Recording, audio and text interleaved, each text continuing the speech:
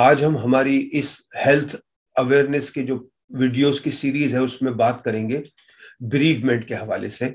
और ये हमारी इस सीरीज़ का आखिरी प्रोग्राम है। ये पाँच वीडियोस की सीरीज़ थी, जिसे हम जी G M C V O की जो फाइनेंशियल सपोर्ट मिली है, और जिन्होंने सपोर्ट किया है, उनके नाम आप इस वीडियो में देखेंगे। इसके अलावा ये तमाम जो मालूम जो है, हमने ली हैं उसके लिए हम शुक्रगुजार हैं रॉयल कॉलेज ऑफ़ साइकियाट्री के जिन्होंने, जिनकी वेबसाइट से हमने मालूम हासिल की है। आज का मौजू है ब्रीवमेंट यानी हमारे किसी करीबी अज़ीज़ का इंतकाल हो जाए तो उसका जो सदमा होता है, किसी करीबी शख्स के इंतकाल के सदमे से दो चार होना एक ऐसा तकलीफ़ दह तजर्बा है जिससे जल्द या बदीर हर इंसान को गुजरना पड़ता है।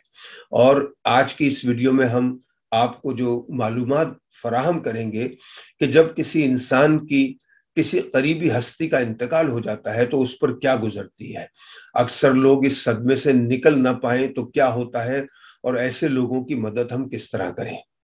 किसी भी चीज़ के खो जाने, लेकिन खास तौर पर किसी करीबी इंसान की मौत के बाद, इंसान गम के मुख्तलिफ़ मराहल से गुजरता है। ये तमाम मराहल अपना वक्त लेते हैं, लिहाजा उसको जल्दी से दूर नहीं किया जा सकता। हम उमूमन ज़्यादा दुखी तब होते हैं जब किसी ऐसे शख्स को खो दें जिसे हम कुछ अरसे से जानते हों। लेकिन और हालात में भी मसलन प्रेगनेंसी में बच्चे के ज़ाया होने के बाद या मुर्दा बच्चे की पैदाइश पर भी उसके वालदेन इसी तरह के सदमे से गुजर सकते हैं। तो इसके लिए ज़रूरी है कि हम ये समझ लें कि इसमें हमें क्या करना है। किसी करीबी शख्स के इंतकाल के फ़ौरन बाद ज़्यादातर लोग पहले कुछ घंटों और दिनों तक शदीद बेयकीनी का शिकार हो जाते हैं। इन्हें ये यकीन नहीं होता कि ऐसा हो चुका है। बाज दफ़ा ऐसा किसी तवील और शदीद बीमारी के बाद होता है, जबकि पता होता है कि उनका रिश्तेदार चंद ही घंटों का मेहमान है, लेकिन उसके बावजूद इंतकाल के बाद उन्हें कुछ देर तक इस पर यकीन नहीं आता। इस बेयकीनी का कुछ फ़ायदा भी होता है कि इंसान को इंतकाल के बाद के कुछ मराहल, मसलन रिश्तेदारों को इत्तला देना और तदफीन वगैरह से गुजरने में कुछ आसानी तो हो जाती है। लेकिन अगर ये हालत ज़्यादा अरसे तक रहे तो मुश्किल भी हो सकती है। और बाज दफ़ा मरने वाले की जो नाश को देखने से इंसान को इस बात का यकीन आना शुरू होता है कि ऐसा वाकई में हो चुका है। इसी तरह जब ये तदफीन वगैरह की रसूमात से गुजरने के बाद भी इंसान को जो है, उस उस तकलीफ़ का जो है वो जनाजे में भी शरीक है फ्यूनरल में भी गया है, लेकिन इसके बावजूद ये सदमा उसके साथ रहता है। और ये सदमा जितना ज़्यादा अरसा रहता है तो फिर इंसान जो है, अपने आप को कभी कभी मुजरिम समझने लगता है और ये सोचता है कि शायद मेरी वजह से ये हुआ है। और अक्सर औकात वो अपने आप को कसूरवार ठहराते हैं कि शायद अगर वो कुछ और कर सकते तो शायद उनका ये जो अज़ीज़ है ये बच जाता। अब मौत किसी के इख्तियार में नहीं और बाज औकात पीछे रह जाने वालों को बार बार ये बात याद दिलाने की ज़रूरत पेश आती है कि अगर किसी का इंतकाल किसी बहुत तकलीफ़ दे और तवील मर्ज के बाद हुआ हो तो बाज दफ़ा करीबी अज़ीज़ इंतकाल के बाद एक इतमान किसी कैफियत भी महसूस करते हैं कि मरीज़ जो है वो बहुत तकलीफ़ में था और अब वो उस तकलीफ़ से उसे निजात मिल गई, जिसके लिए फिर वो शर्मिंदा भी होते हैं। ये एक तबई एहसास है। बहुत से लोगों को होता है और इसके लिए निदामत महसूस करने की ज़रूरत नहीं होती। अब झुंझलाहट, बेचैनी और गुस्से की ये कैफियत इंतकाल के तकरीबन दो हफ़्ते बाद सबसे ज़्यादा शदीद होती है। और उसके बाद उदासी, खामोशी और लोगों से अलग थलग रहने की कैफियत जारी हो जाती है। इसीलिए यहाँ बरतानिया में और और ममालिक में भी होगा कि ब्रीफमेंट काउंसलिंग का एक शोबा है।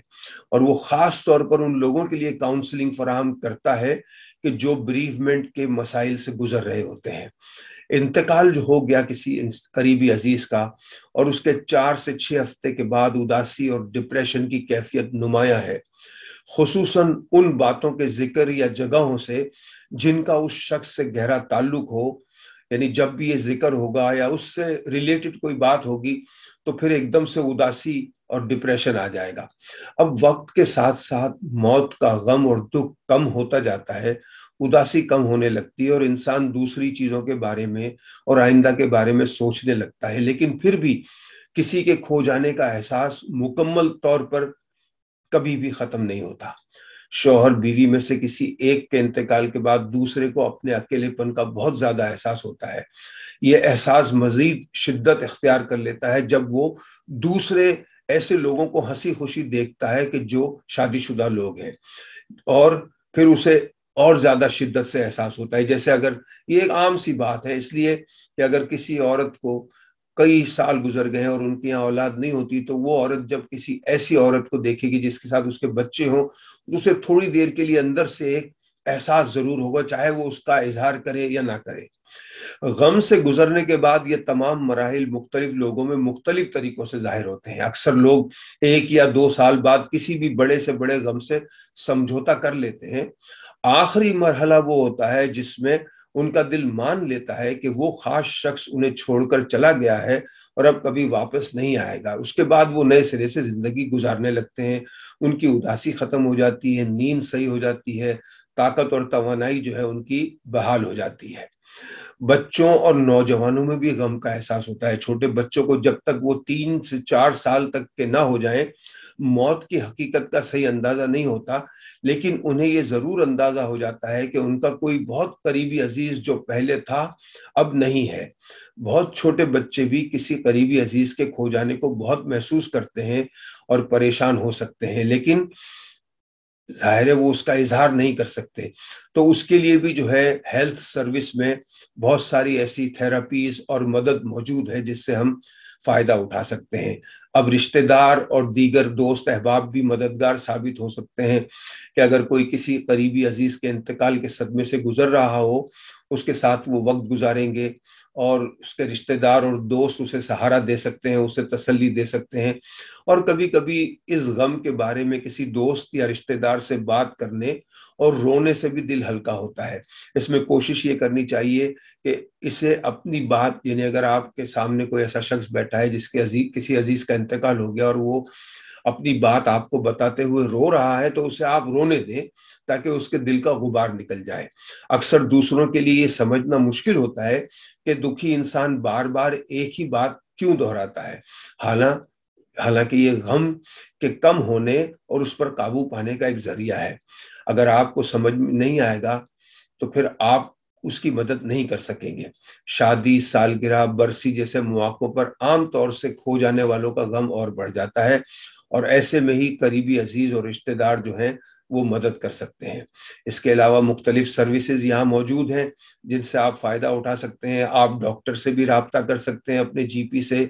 अगर डिप्रेशन ज़्यादा बढ़ जाए, जिसमें आपकी भूख, नींद और ताकत और तोानाई मुतासर हो रही है तो ऐसी सूरत में डॉक्टर के मशवरे से अब आप किसी किस्म की जो अद्वियात है, वो ले सकते हैं। और कुछ लोग जो है, वो काउंसलिंग और साइकोथेरापी से भी फ़ायदा उठा सकते हैं। किसी की मौत के गम से गुजरना ज़िंदगी का हिस्सा है। ये एक अजीब, दर्दनाक और तकलीफ़ दे मरहला है। लेकिन फिर भी बहुत से लोगों को इस दौरान और बाद में भी किसी तिब्बी मदद की ज़रूरत नहीं होती और कुछ लोगों को होती है।